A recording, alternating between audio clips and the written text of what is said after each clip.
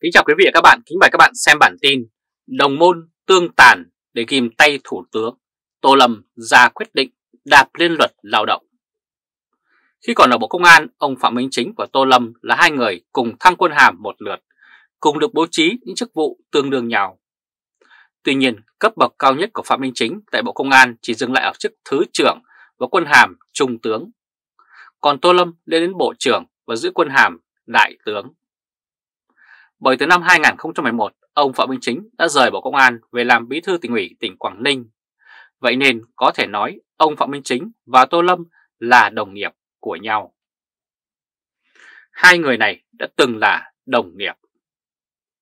Nếu ông Chính còn ở Bộ Công an thì có lẽ hiện giờ ông và Tô Lâm sẽ choảng nhau theo cách khác. Choảng nhau để tranh giành vị trí số 1 trong bộ này. Tuy nhiên, việc tách khỏi Bộ Công an đã đưa ông Phạm Minh Chính lên vị trí cao hơn hẳn.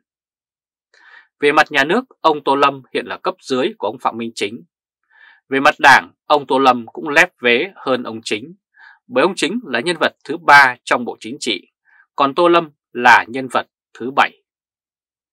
Trụ Thủ tướng được xem là dưới cơ trụ Tổng Bí Thư. Một trong những nguyên nhân là bởi trụ Thủ tướng không kiểm soát được Bộ Công an, mặc dù ông Thủ tướng từng là Thứ trưởng của Bộ Công an. Trước đây, ông Nguyễn Tân Dũng là Thủ tướng thì có ông Lê Hồng Anh làm Bộ trưởng Bộ Công an. Ông Lê Hồng Anh và Nguyễn Tân Dũng đều trưởng thành từ Kiên Giang. Thủ tướng Phạm Minh Chính cũng rất có tham vọng muốn kiểm soát Bộ Công an, nhiều Nguyễn Tân Dũng đã từng làm. Tuy nhiên, Tô Lâm lại không đầu quân cho ông Chính, mà đầu quân cho ông Tổng Bí Thư.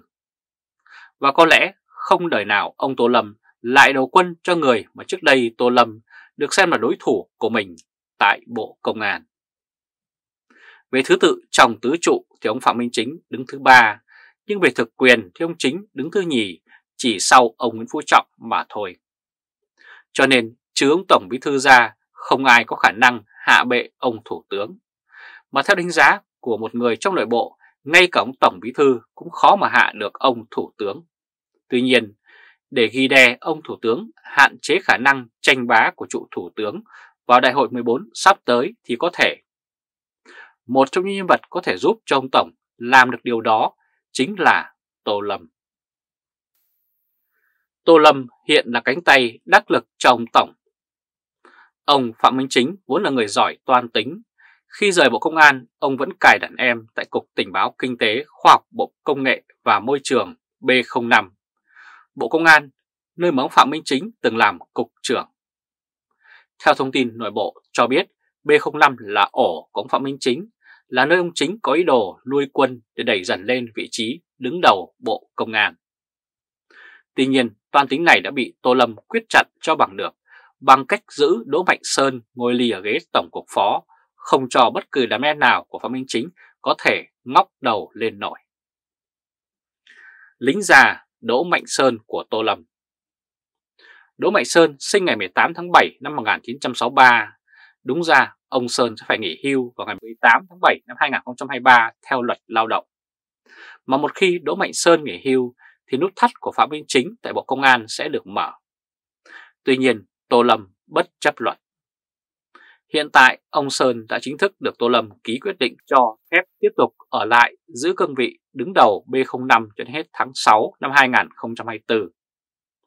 Luật lao động do Quốc hội đẻ ra không bằng cái chữ ký của ông Tô. Hiện nay, ông Tô Lâm còn 8 tháng để tìm người thay thế vị trí người lính già Đỗ Mạnh Sơn và cũng không loại trừ khả năng ông Tô Lâm lại một lần nữa bất chấp luật pháp giữ Đỗ Mạnh Sơn lại cho đến hết nhiệm kỳ. Tại Bộ Công an, Tô Lâm là ông vua một cõi, đã từng xem luật pháp quốc tế không ra gì và thường xuyên không dùng luật để bắt người. Thì Tô Lâm không ngại gì đạp lên luật pháp để mà kìm hãm đàn em của Phạm Minh Chính tại Bộ Công an. Quý vị và các bạn vừa theo dõi chương trình truyền hình trực tiếp của Thời báo chấm với bản tin Đồng môn tương tàn để ghim tay Thủ tướng ông Tô ra quyết định đạp lên luật lao động. Quý vị và các bạn hãy chia sẻ video này cho nhiều người biết và bấm nút theo dõi YouTube và Facebook của Thời báo .de để luôn được cập nhật những bản tin mới nhất, nhanh nhất và trung thực nhất. Từ Berlin, Cộng hòa Liên bang Đức chào các bạn và hẹn gặp lại các bạn ở bản tin lần tới. Trung Khoa, Thời báo, chấm đề. Kính chào quý vị và các bạn, kính mời các bạn xem bản tin Dưới bàn tay cụ Tổng, tư pháp hại người vô tội, giáo dục hại cả dân tộc. Trong báo cáo mới đây của ông Nguyễn Hòa Bình, tránh án Tòa án Nhân dân tối cao trước Ủy ban Thường vụ Quốc hội, Chủ tịch nước về công tác tòa án trong năm 2023, nói rằng năm 2023 chưa phát hiện trường hợp kết án oan người vô tội. Trong khi đó, chính quyền mới vừa cho thi hành án tử hình oan với tử tù Lê Văn Mạnh cách đó chưa lâu. Trắng trợn làm án oan nhưng lại được yêu ái vào Bộ Chính trị và giờ được phong giáo sư. Được biết, đây không phải là phát biểu lần đầu tiên của ông Nguyễn Hòa Bình về án oan. Vào ngày 25 tháng 3 năm 2021, tại kỳ họp thứ 11 Quốc hội khóa 14, ông Nguyễn Hòa Bình cũng đã nói rằng trong 5 năm không phát hiện án oan sai nào. Trong khi đó, vào tháng 5 năm 2020, chính Ung đã chấp nhận vật chứng mua ngoài chợ về để kết án tử cho Hồ Duy Hải trong phiên xét xử giám đốc thẩm. Vụ án được công luận quan tâm và hầu hết đều rất phẫn nộ trước phán quyết của tòa, bởi tòa đã kết án oan cho Hồ Duy Hải một cách quá trắng trợn. Việc làm án oan một cách lạnh lùng rồi sau đó nói trước truyền thông là không có án oan, như là bản chất của ông tranh án Tòa án Nhân dân tối cao vậy. Bản chất được ông Nguyễn Văn Thiệu mô tả rất chính xác trong câu nói mà nhiều người luôn nhắc đi nhắc lại rằng đừng nghe những gì Cộng sản nói, hãy nhìn những gì Cộng sản làm. Lời nhắc của ông cố Tổng thống Nguyễn Văn Thiệu rất đúng với những gì ông Nguyễn Hòa Bình đã nói, hãy nhìn những gì ông ta làm. Đừng nghe những gì ông Nguyễn Hòa Bình nói và hãy nhìn những gì ông ta đã làm được thì sẽ thấy rõ bản chất con người ông này. Nguyễn Hòa Bình là một con người nguy hiểm cho ngành tư pháp. Trước đây ngành tư pháp hàm oan dân còn giấu giếm, chứ đến thời điểm của ông Nguyễn Hòa Bình thì công khai trắng trợn. Cứ hàm oan rồi lại nói những lời đạo lý vô nghĩa và giả tạo, nhưng lại được bộ máy bung hết công suất ra để mà tuyên truyền nhằm lấn át những tiếng kêu gào của dân oan trên khắp mọi miền của đất nước. Sau khi ép án tử cho Hồ Duy Hải với chứng cứ mua ngoài chợ, thì lẽ ra ông Nguyễn Phú Trọng cần loại ông Nguyễn Hòa Bình ra khỏi ngành tư pháp để ngành này bớt tàn nhẫn đi. Tuy nhiên, ông Nguyễn Phú Trọng lại nâng ông Nguyễn Hòa Bình lên nấc thang quyền lực mới. Ở đại hội 13 vào đầu năm 2021, trong vai trò là trưởng tiểu ban nhân sự đại hội, ông Trọng đã để cho một hung thần của ngành tòa án lọt vào Bộ Chính trị Điều này cho thấy ông Trọng đã đi ngược lại ý chí của người dân. Tuy nhiên, ông Trọng có đánh tham nhũng thật. Mặc dù vậy, điều mà ông làm hại cho dân cho nước thì ai cũng thấy. Công lao đốt lò bác Tổng thì ôm hết. Còn việc dùng những người hại dân hại nước như Nguyễn Đức Trung, Tất Thành Cang, Nguyễn Thành Long, Chu Ngọc Anh vân vân thì dường như không phải là thành tích của ông Tổng vậy. Với vai trò là người đứng đầu của Đảng Cộng sản Việt Nam, ông Nguyễn Phú Trọng chính là người phải chịu mọi trách nhiệm chính trong việc phá nát nền tư pháp của đất nước. Thời mà ông Trọng làm Tổng Bí Thư, giáo dục thì nát và tư pháp lại xuống cấp. Tư pháp là sửa người, còn giáo dục là trồng người. Cách làm của thư pháp của Cộng sản hiện nay không những không sửa người, mà còn làm hại người nhiều hơn nữa. Trong khi đó, ngành giáo dục từ khi ông Nguyễn Phú Trọng làm Tổng Bí Thư với cái đời Bộ trưởng như Phạm Vũ Luận, Phùng Xuất Nhạ và bây giờ là Nguyễn Kim Sơn đều khiến cho ngành giáo dục của Việt Nam trở nên tệ hại như ngày hôm nay.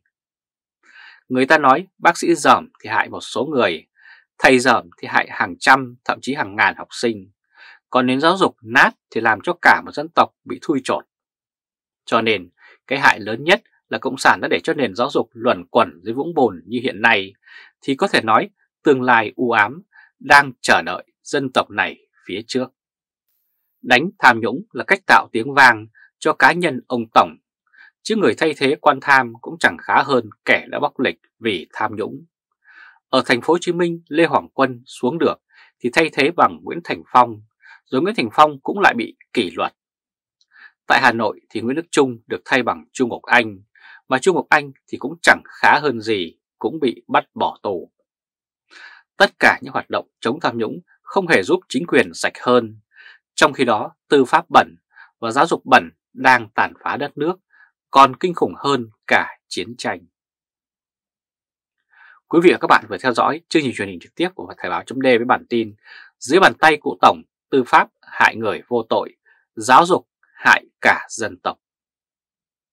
Quý vị và các bạn hãy chia sẻ video này cho nhiều người biết và bấm nút theo dõi YouTube và Facebook của Thời báo .de để luôn được cập nhật những bản tin mới nhất, nhanh nhất và trung thực nhất. Từ Berlin, Cộng hòa Liên bang Đức chào các bạn và hẹn gặp lại các bạn ở bản tin lần tới. Trung Khoa Thời báo .de